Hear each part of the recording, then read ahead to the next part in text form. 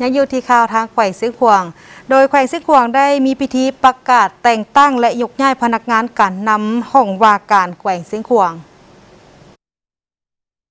พิธีประกาศแต่งตั้งและยกย้ายพนักงานการนำห้องว่าการแขวงเสียงขวาง ได้จัดขึ้นในวันที่ 2 กรกฎาคม 2021 นี้ อยู่ที่ห้องประชุมใหญ่ห้องว่าการปกครองแขวงเสียงขวาง เข้าร่วมพิธีครั้งนี้มีท่านบุญจันทร์สีวงพันธ์เจ้าแขวงแขวงเสียงขวาง มีท่านเวียงไซสีวิไลหองประธานสภาประชาชนแขวง ท่านสมพรศรีอาภัย หัวหน้าห้องว่าการแขวงเสียงขวาง มีตั้งหน้าแผนกการกรมกองอ้อมข้างแขวง พร้อมด้วยแขกถึกเซินและพนักงานภายในห้องว่าการแขวงเข้าร่วม ในพิธีท่านนางพวงพระจันทร์มูลทวงห้องหัวหน้าคณะจัดตั้งแขวงได้ขึ้นผ่านข้อตกลงของคณะประจำภาคแขวง เลขที่85 ลงวันที่2มิถุนา2021ว่าด้วยการยกย้ายพนักงานการนำไปรับหน้าที่ใหม่ คณะประจำพักแขวงตกลง ยกย้ายท่านเวียงไสศรีวิไลกรรมการพักแขวง ผู้ช่วยเวียกหองเจ้าแขวง สมาชิกสภาแห่งชาติสุติเกาไปรับหน้าที่ใหม่อยู่สภาประชาชนแขวงข้อตกลงของเจ้าแขวงแขวงเสียงขวางเลขที่ 404 ลงวันที่ 2 มิถุนา 2021ว่าด้วยการยกย้ายพนักงานไปรับหน้าที่ใหม่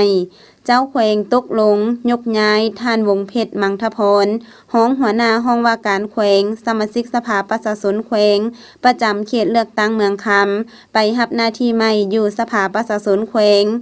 ยกย้ายท่านนางสุทธิดาทิพมูลตาลีห้องหัวหน้าห้องว่าการแขวง สมาชิกสภาแห่งชาสติสุทธิเกาไปรับหน้าที่ใหม่อยู่สภาประชาชนแขวง ข้อตกลงของเจ้าแขวงแขวงเสียงขวางเลขที่453 ลงวันที่23มิถุนา2021ว่าด้วยการยกย้ายพนักงาน เจ้าแขวงตุกลง ยกย้ายท่านจันทบุญเพงสมภู ไปปฏิบัติหน้าที่เวียกงานอยู่คณะโฆษณาอบรมแขวง และขอตกลงของเจ้าแขวงเลขที่ 408 ลงวันที่ 3 มิถุนา2021ว่าด้วยการแต่งตั้งห้องหัวหน้าห้องว่าการแขวงเจ้าแขวงตกลงแต่งตั้งท่านสิงหาสติทอง เป็นห้องหัวหน้าห้องว่าการแขวง